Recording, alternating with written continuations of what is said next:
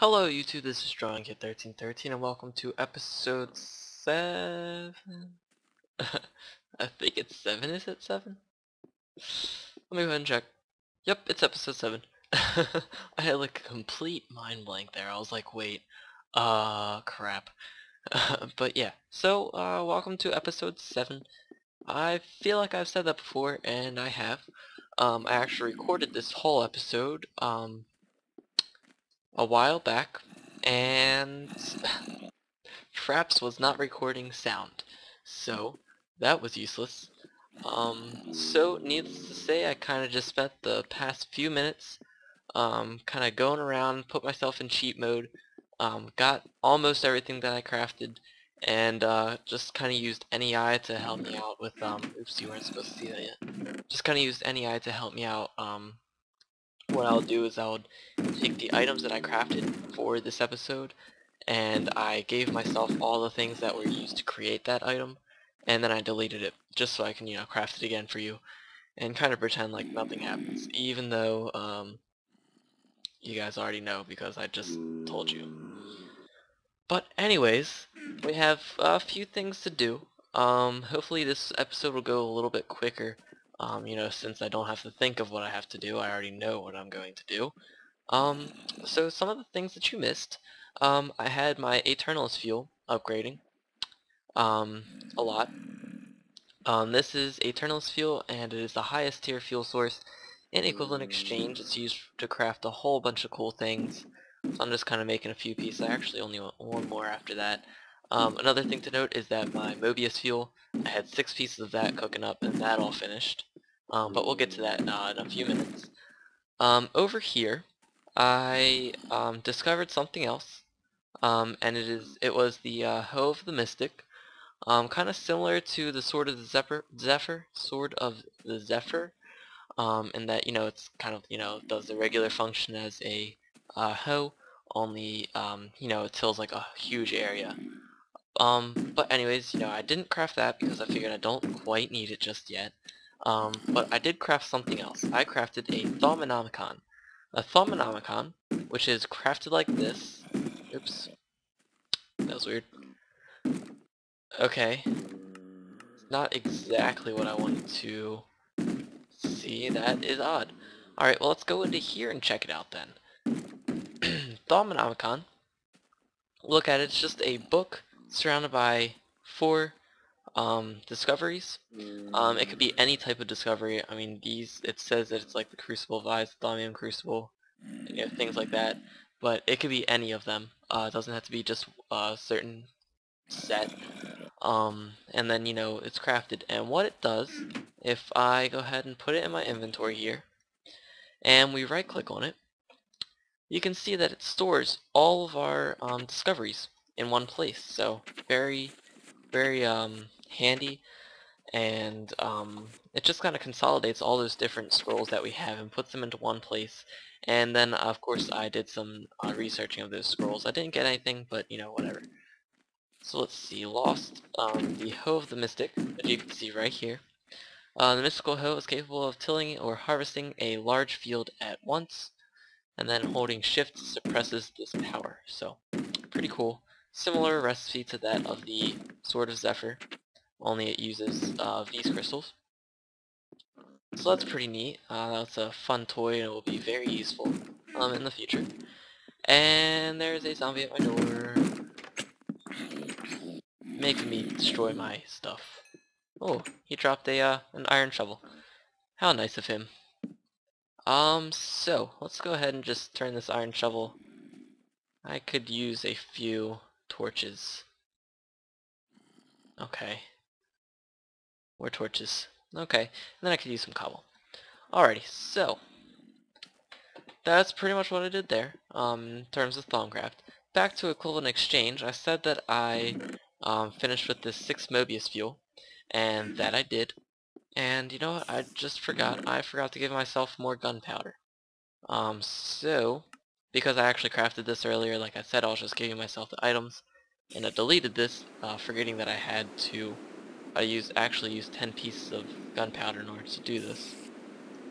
So, let me go ahead, find gunpowder somewhere here.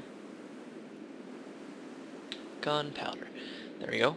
I'm gonna give myself 10 more pieces of it. There we go. Because that's as much as I had uh, at the start of the last episode that I failed at recording. And I only need 10 of them.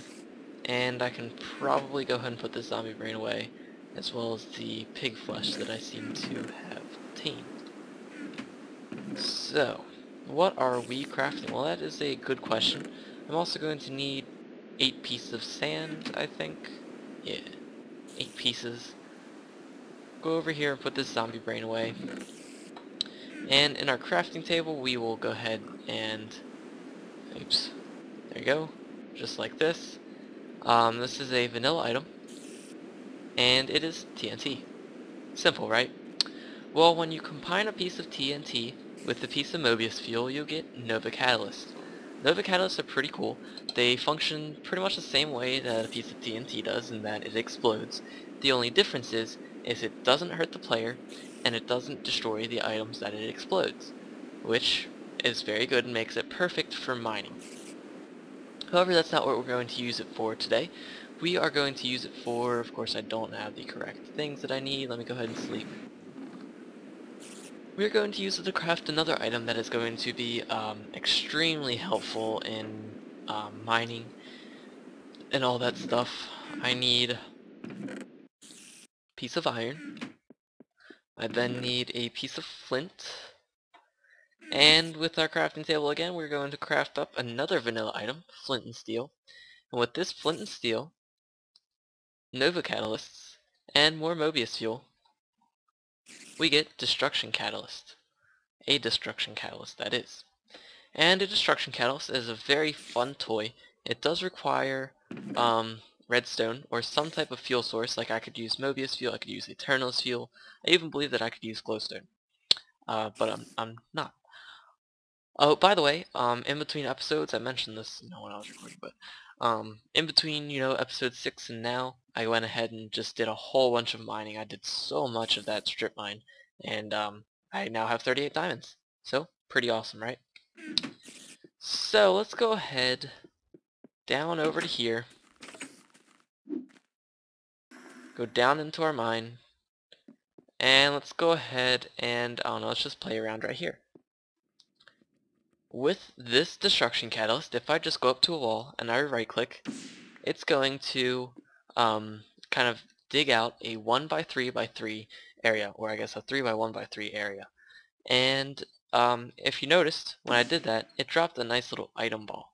These item balls are something that are, um, they come with uh, equivalent exchange too, and it is pretty much used just to consolidate all the items that you get into one single spot so that, you know, when you are dealing with an item that takes a lot of items and just puts them all on the ground. It reduces lag by putting all of them in one spot. So a lot easier. And you can see we got, um, we have 63 cobblestone here. If we do this, should be 9 because it's 3 by 3. Pick it up, we now have 68, or 64 plus 8. So that's a total of 9 because we had 63, that's 1, and then 8, that's 9. Now that's pretty cool, you know, we can go along and just do some mining like that. But that's kind of annoying and a little bit inefficient. What's this, aqueous crystal? So what we can do is we use V, charge it up a little bit, and it has three different charge levels, and now if we go up to a wall and we click, bam, it mines out a huge area just like that for us. So very convenient, very um, easy, and will definitely help me with mining. There we go.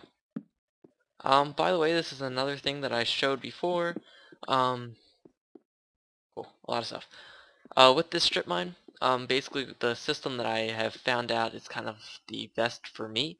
Um, you can see that I have them every five, so at the end of this it's one, two, three, four, and five, and then another one.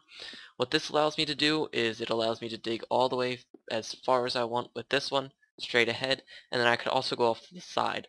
Same with the ones down here, I could also go off to the side, and it leaves a, um, a one block gap for the floor of that one and the roof of that one so that each mine doesn't interfere with each other. And in theory, I can go ahead and just mine uh, pretty much all of the area. I can pretty much uh, mine anything with this. So very efficient and I found it to be kind of the best way for me. And having this uh, destruction catalyst will definitely help me because I can just, you know, go up somewhere, click that, go up to here, click that, there you go. Click that, click that.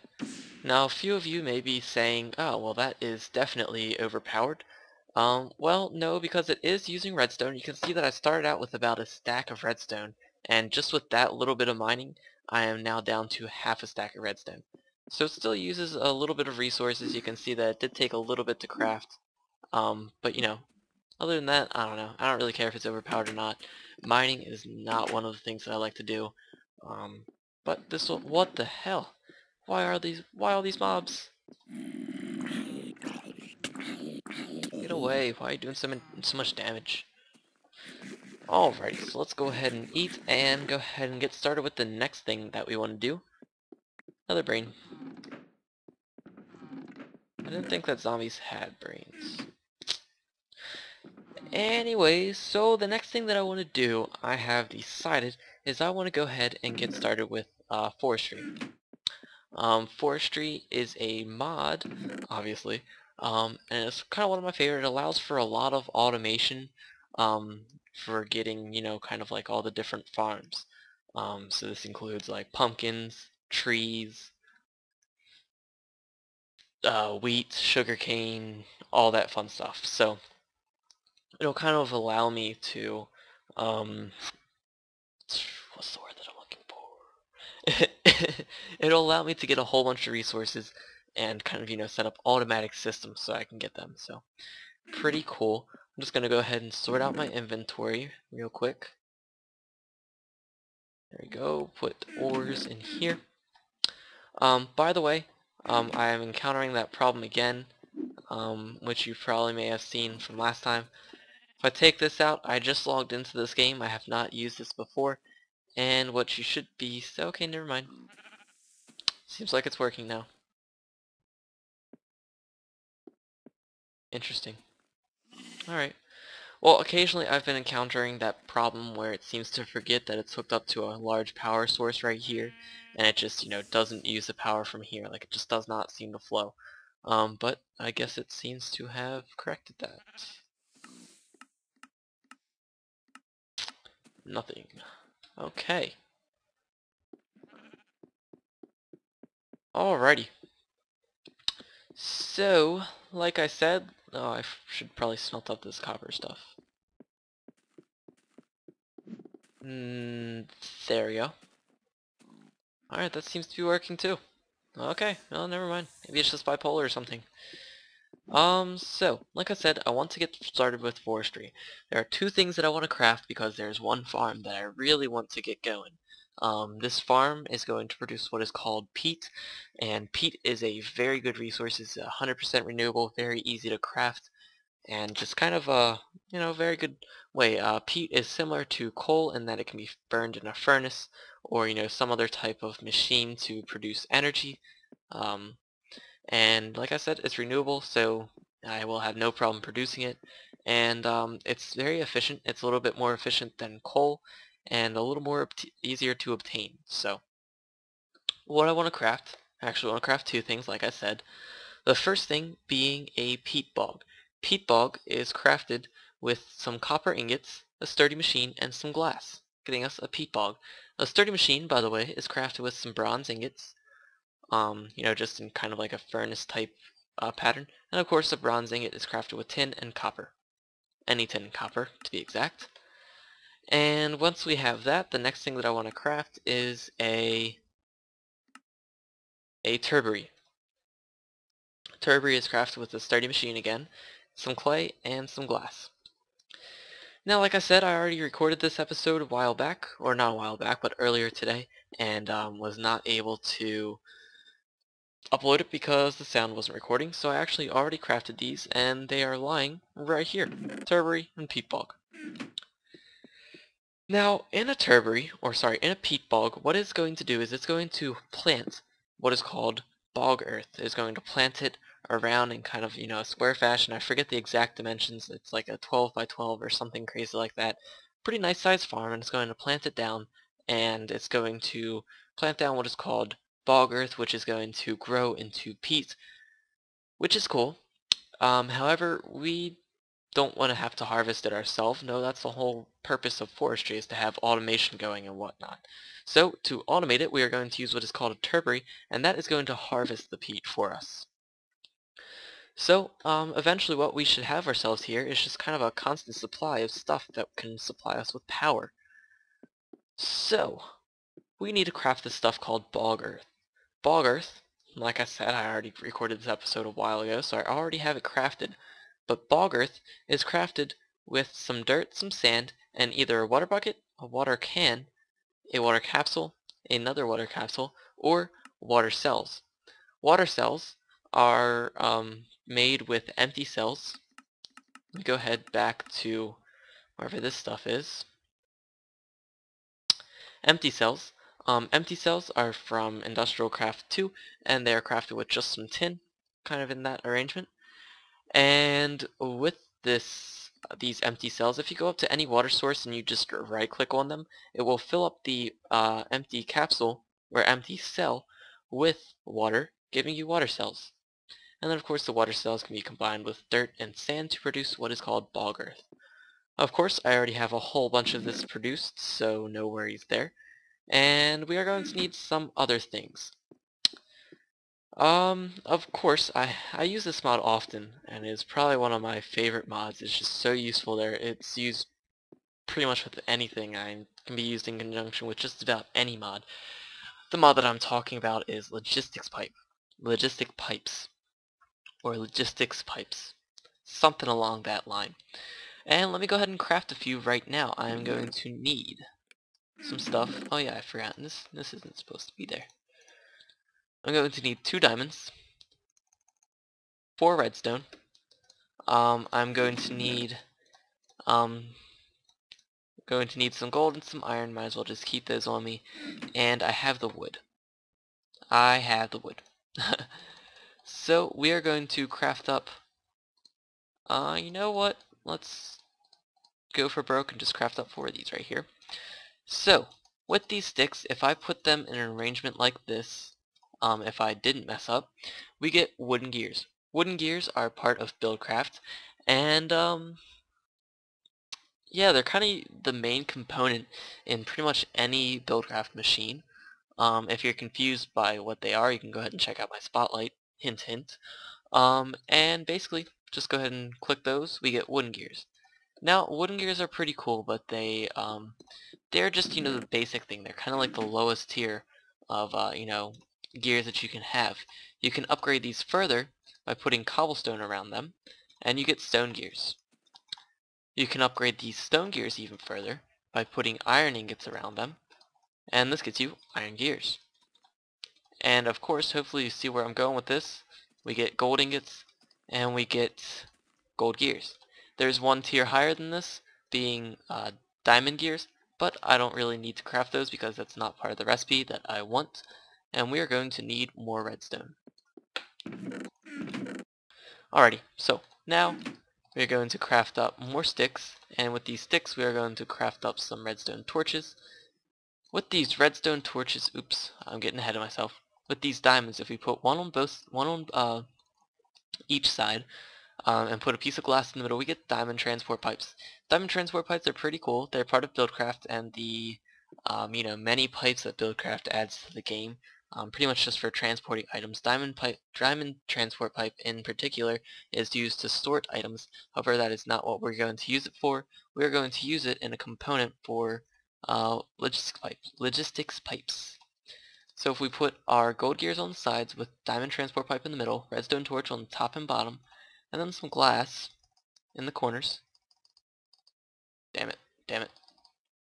There we go. We get basic logistics pipes. And I'm going to craft up a whole bunch of these. You can see that I got myself 32 because we are going to start using them uh, a lot more in this episode or in this series. Um, however, we don't really need too many of them at the moment. We're going to need two lappies, one glowstone, and two basic logistics pipes. Another thing that we are going to need, um, and I can go ahead and just get that later. But with these logistics pipes, we are going to craft one with um, lapis lazuli on both sides, and this is going to get us a supplier logistics pipe. Put a glowstone dust on top and this gets us a provider logistics pipe. We're going to go over to our transmutation table and get some smooth stone. Um, just, I don't know. Just four of them should be fine. And then with the crafting table, if we put smooth stone on both sides, put uh, glass in the middle, we get stone transport pipes. Again, part of Buildcraft, many pipes that are added. Um, and I'm going to sleep, but I can't, so there's monster nearby. Mon there. Sorry, it is getting a little late. I wasn't planning on staying up this late to finish this episode, but anyways, I'm going to go ahead and take care of those monsters, and I'll be right back. You know what? That took longer than I thought it would. God, that took forever, I swear. It's like there's just monster after monster, and I'll go back to my house and try to sleep, and I wouldn't be able to because stupid creeper or stupid zombie would spawn like right in this little kind of like a courtyard in the middle of my house. You can see that there is a pig there, but I'm not all too concerned about pigs. Um, but yeah, what a pain. What a pain, I tell you. Oh look, this thing's done. Let's go ahead and harvest these things. Creeper. Never mind, I don't care that much anymore. Alright, so let's go ahead and get back to what I was going to do. And that is get started with this forestry machine that we have ourselves here. I'm going to fly over here and you can see that I already have a little bit of an area planned out. Of course some... Oh, poor pig. Sorry, I killed your lunch. Come on, die. Damn it. Alright, cool. No, jeez. Damn it. I hate crocodiles. Bitch. Alright, so. This is why all my armor keeps breaking. Damn crocodiles. Maybe they're mad because I'm wearing their brothers. Alright, so, like I said, we are going to place this right here. Oops, not that. Let's go ahead and take that down, because trust me, um, all it takes is an accidental right click and half your house has just disappeared. It's happened before. um, so we're going to place this thing down right there, and inside, you know, I already, I already showed you this, um, and you know, I'm going to say no. I'm going to hold off on that. I'm going to place my turbary down right next to it. There is no um, inventory or anything, but I am going to dig down a layer. Actually, you know what? I don't think I need to dig down a whole layer, but you know, whatever. Alrighty. Just collect all this stuff. And let's see. I'm actually going to fill this in because that's not exactly what I need.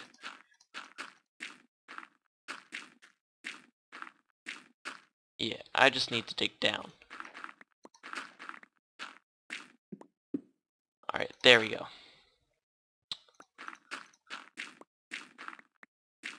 Okay, so just a nice little area, giving us room to work with while we are down in this little basement type thing.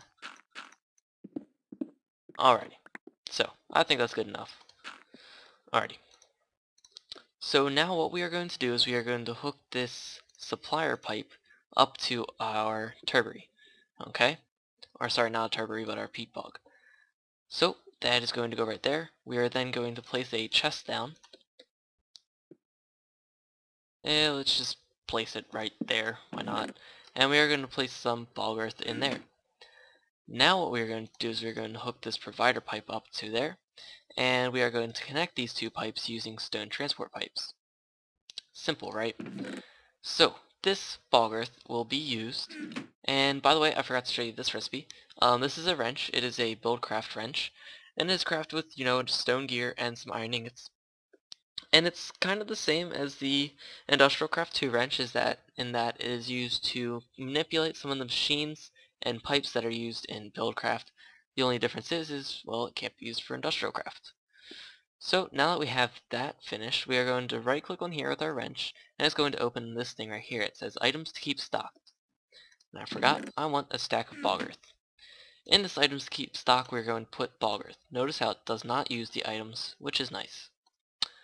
Alright, so we are going to say partial request yes. And what this supplier pipe does is it will keep however or whatever item that we require, and it will keep it stocked inside of the inventory that is connected to. So for example, we just told it to keep a whole stack of bog earth inside of this turbary right here. You can see that it is requesting taking the stuff out of here, putting it into there. Alrighty? So now what parse request does is it says, oh, well, if you don't have a full stack of bog earth, well then I'm going to just send as many as I can. Um, and if you had parse request set to no, it's going to say, well, I don't have 64 bog earth, so I'm not going to send any.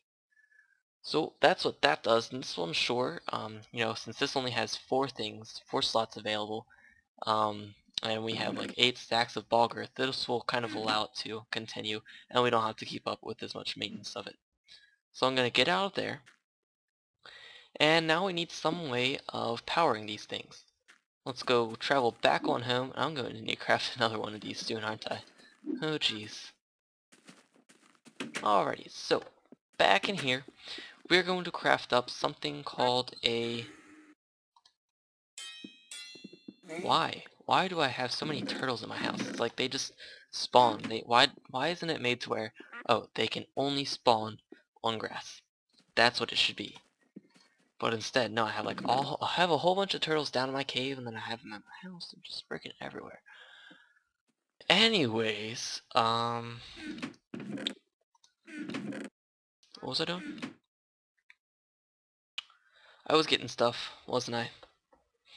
Yes, I was getting the materials that are necessary for crafting a combustion, or not a combustion engine. I'm going to craft the materials necessary to craft a an engine um, from Buildcraft. So we are just going to get some sticks, craft those into wooden gears, craft these gears into stone gears, and uh, then we are going to get some iron, one piece of iron, one piece of redstone, and with this we are going to craft up another vanilla item. This one is a piston. Okay, with this piston we are going to put it on the bottom. We are going to put stone gears on either side, glass in the middle right there, and then some stone up top, getting us a steam engine. There are three tiers of engines available in Buildcraft. From least effective to most effective, they are redstone engines. Then come steam engines, and then the highest being combustion engines. So there goes my steam. And, um, yeah, sorry, I'll check that later. Um, now, redstone engines, they don't require any, um, no, actually I should have sticks somewhere. They don't require any type of fuel source, they just run off of redstone signal, and they're fairly slow and inefficient. Um, now steam engines, they will run off of coal or other burnable objects, and they are kind of efficient. Um, but of course they do use coal. So I'm going to get like a half a stack. Now, uh, problem with steam engines is that if you leave them running too long, they will explode. And the explosion isn't too pretty to be, um, to be honest. Um, it will kind of destroy things and it will uh, kind of annoy you. Um, so what I'm doing now is I'm going to put a stack of coal in there, but of course nothing's going to happen because we need some type of redstone signal. I'm going to use a lever, that way I can turn it on and off as I please. Oops, wrong place, dum-dum. Oops, that's not it either. Okay, there we go. So now with this, it is going to power, it's going to take probably a few seconds to um, you know, get started with everything. But as you can see, it's starting to dig out a little area right there. I forget how large it will dig out, but this should be just fine. If I had to guess, it would be something like this. Alrighty. Alright, so, you know, this is just going to go along um, happily, and um, to be pretty cool. Now, um, let me go ahead and check the time of this video and I'll be right back. Alright, so while I am waiting for that to, um, you know, dig out a nice little area, I'm going to go ahead and sleep, and I'm going to craft up one last item for this episode. Um, is right around the 30 minute mark at this point, and I need to start wrapping things up. The item that I'm going to craft pertains to, um, equivalent exchange. It's going to require a diamond, you know what, let me go ahead and check out the uses for this. Alright, so here's what I want to craft. I need a chest, some iron ingots, some stone, diamonds. Okay, I think I can do that. Got my diamonds, got my iron. Now I have my iron. Going to need some more smooth stone, and then in here we should have a chest. Alright, so what I'm crafting here, once we get two pieces of smooth stone, what I'm crafting here, as you just saw, is an alchemical chest. Alchemical chest is, uh, you know, pretty much just like a chest, uh, only it has a very large inventory. Um, yeah, that's, that's pretty much it. Um, it has a very large inventory, but that's not exactly what I'm going to use it for. You can see that um, another cool thing about it is it kind of works like these chests in that it can be placed right next to another uh, chest and have no problems. Another thing to note, it has a very large inventory. Now, why am I using um, the iron chest mod instead of the alchemical chest? Well, because, I don't know, I like to use different mods. But I'm not going to use this for storing items. Instead, I'm going to use it um, to craft something else. so let me go ahead and just do some searching around here. I wonder if I have any wool. Oh cool, I have perfect amount of wool right here. Of course I do want it to be another color.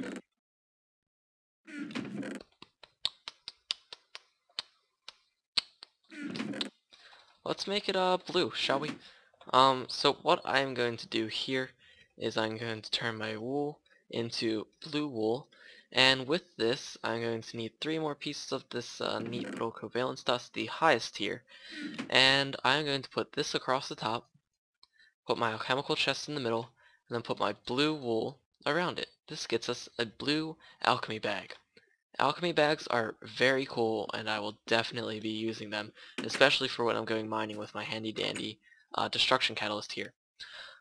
Now, what an alchemical bag does is it's pretty much like a portable chest, I would say, only it's a bag.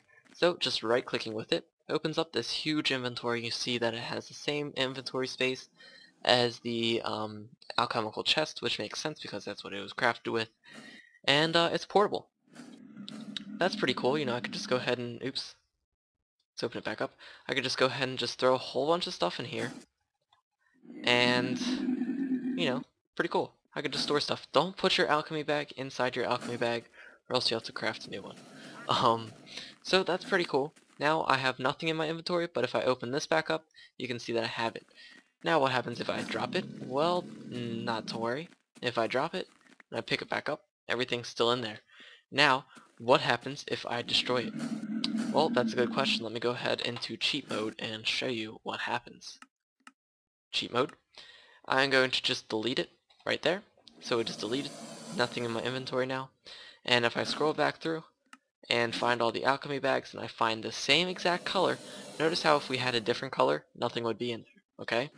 But, oops. But if we find the same exact color, like this one, and we open it back up, all our stuff is still in there. So, um, kind of the inventory is saved according to um, the color bag and according to your username. Um, so for example, like if you were using these on a server, no one would be able to access your stuff even if they got the same colored bag. It would depend on their username. So that's pretty neat. I'm going to turn myself back into resume mode here and uh, kind of get all my stuff back. So that's just kind of the last thing that I wanted to craft for you guys uh, in this episode. I'm going to grab my Sword of the Zephyr and I'm going to zoom over here. And you can see that, one, it made a big mess and it's still not done. It's kind of slow because we only have a steam engine going along with it, so yep. Alright, so like I said, I'm going to have to start wrapping it up because it is around that 30 minute mark. Actually, it's probably past that by now. I hope that you have enjoyed this episode, um, and uh, you know, I hope that it's kind of taught you something about these mods and, you know, all that other fun stuff that I always say at the end of my episodes. Um, yeah. I think next episode I'm going to continue with kind of the automation of this farm. Um, kind of get, you know, up and running so that I don't really have to bother with it as much. Um, another thing that I'm going to do is I may start on kind of a sorting system type thing. Um, Now I'm not too sure if I want to do red power or if I want to do um uh, if I want to do red power, if I want to do logistics pipes.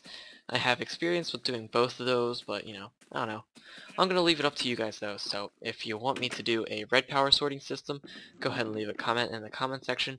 If you want me to do a logistics pipe sorting system, go ahead and put a comment in that thing. Um, but, anyways, um, yeah, that's pretty much all I have to say. Um, like I said, next episode, um, probably some more Thaumcraft research, probably some more forestry stuff, and possibly, maybe if I have time, get started on a um, sorting, automatic sorting system. So, until then, this has been Drawing 1313. Again, hope you've enjoyed this, and I will see you all next time. Bye.